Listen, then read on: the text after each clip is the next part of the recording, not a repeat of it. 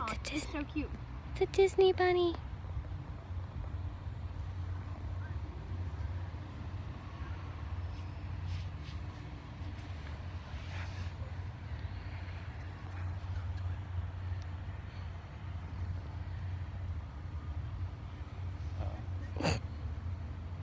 He's going away.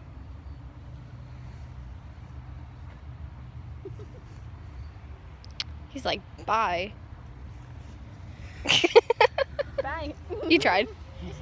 This is right across Hourglass Lake. You can get a peek into some of the construction right over here um, on the gondola system to get to um, Hollywood Studios. But this is just a little back way that you can take to see all the construction and stuff by Hourglass Lake.